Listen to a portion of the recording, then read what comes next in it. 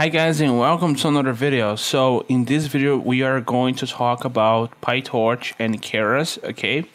So these are very different uh, frameworks I would say. Uh, Keras is not a framework per se, but you can use um, other frameworks on top of it. On top of it, so um, let's start by talking about um, why Keras or, or why PyTorch. So First of all, let's start with PyTorch, uh, which has a concise API. The API of PyTorch is pretty, uh, I would say, consistent and easy to understand. Um, you can come here on tutorials and you're gonna see lots of examples on how to use PyTorch. I'm gonna make some videos on PyTorch soon, so uh, keep. Uh, okay, so let's go. Um, um, PyTorch, as I said before, is very fast. Um, has distributed training. Uh, on the video, I talked about uh, PyTorch versus TensorFlow. It's Python first, which has, which means that it has a deep integration with Python, which is, and also PyTorch is very Pythonic, which is a good thing also. So PyTorch is mainly used for um, NLP uh, and I've I've seen some uh, research on mainly on um, image processing. Uh, okay, so that's that's are the strong points of PyTorch. Uh, and Keras, I think the main point of Keras it is it is usability. So you guys can see that it's very friendliness. Um, it has modularity it's easy to extend uh, to ex- uh, extend uh, work with Python. okay, so that's a R version of Keras as well. So I think Keras the main point is very easy to create a model. So in Keras you just uh, define a model, compile, and you fit the data. Uh, there's a method called fit, which is very convenient. Um, that you just pass your data through it and it will train your model very quickly.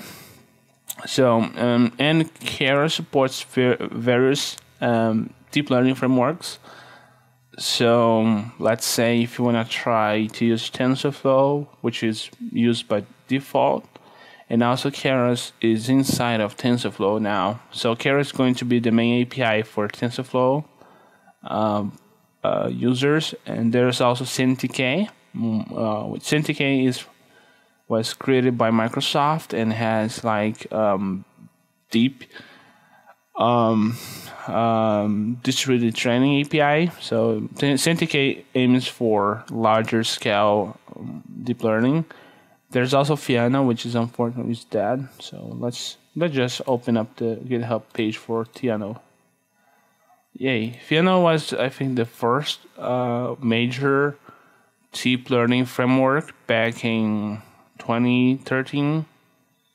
I don't remember exactly, but yeah, it here says three years old. The the file, yeah, but Theano is quite old. I think it was the first major uh, deep learning framework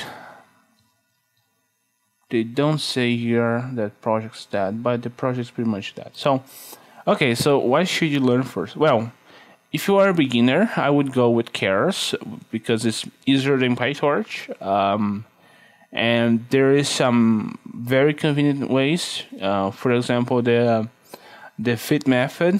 Uh, so if you just need to iterate your data using the fit method is very easy to do. In PyTorch, you need to create a for loop uh, for the epochs, and then you need to iterate over your data.